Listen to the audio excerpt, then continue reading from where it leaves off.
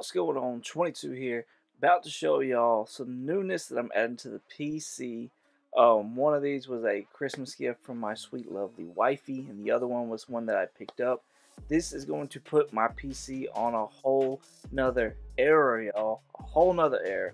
Um, so yeah, let's check these out and let's talk about them and just show them off. And I'm super excited about them, and I can't wait for y'all to see them. So the first book up this is one that I picked up off of eBay. I got it for a freaking really, really good deal. I was already buying some books from my guys, and he happened to have this.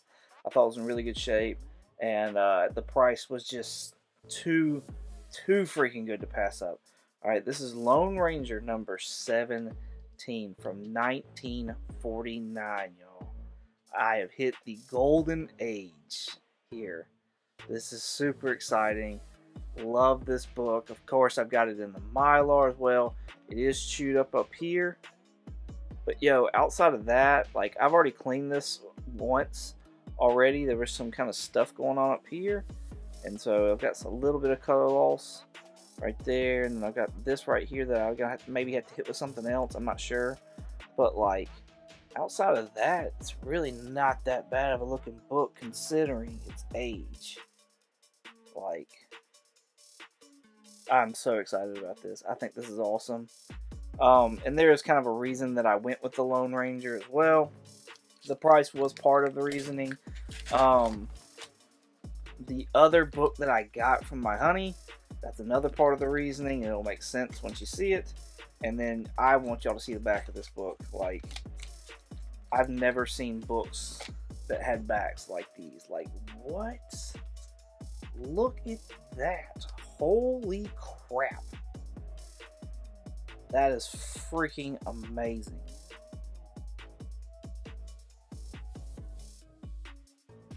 Like, that is just. Oh my gosh. There's some staining going on up here that I gotta figure out what I gotta do to get that out, but like. That is so awesome. Look, I love these. I love the backs. So, super excited about those.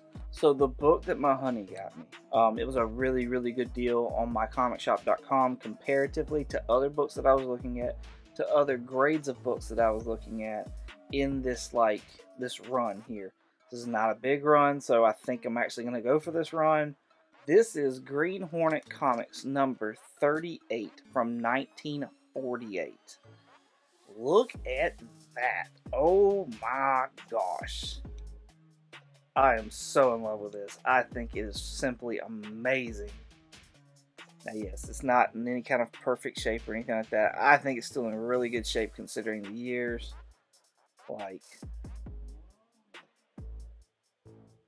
the graphics on this are awesome. There's Kato over there running with the Green Hornet right there, dead in the center. Bright yellow background, red letters, like, oh, this is so cool. I do believe it is separated from the top staple up there, as you can see. Not a big deal though, um, especially for like my first two Golden Age books. I think these are awesome. Freaking simply amazing. Everything that I've been reading or have seen or whatever, that people have said that the Green Hornet is the great grandson of the Lone Ranger or he is the grandnephew of the Lone Ranger. Regardless, he has family ties. He is the descendant of the Lone Ranger in some shape, form, or fashion. I think that's super awesome. And uh, so yeah, for me to sit there and collect the Green Hornet and really that's that's what got me on this whole kick was I was wanting to get into Golden Age books and I was looking at like heroes and stuff like that and ones that I connected with and ones that I enjoyed growing up as a kid and the Green Hornet was one that I loved that 60s show that came out. Um, I love Bruce Lee as Kato and stuff like that. And so then I started looking at other books that I could possibly get into, and I found The Lone Ranger, and I was like, oh, that's just perfect.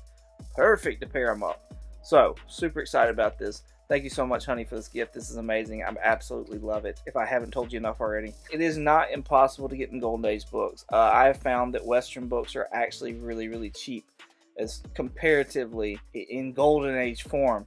So yeah, they're more expensive than modern and copper and stuff like that.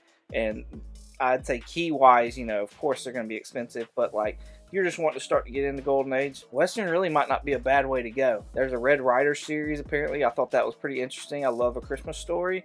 And so the Red Ryder kind of caught my eye as well, but I haven't really ventured into that. That is it. New era to the PC, y'all. Golden Age books in the PC. Super excited about this. Thank you all so much for watching. I greatly appreciate it. You can find me on a podcast called Comically Comics. You can also find me on Instagram and eBay at 22 underscore comics. Once again, thank you all so much for watching. And as always, y'all have a good one.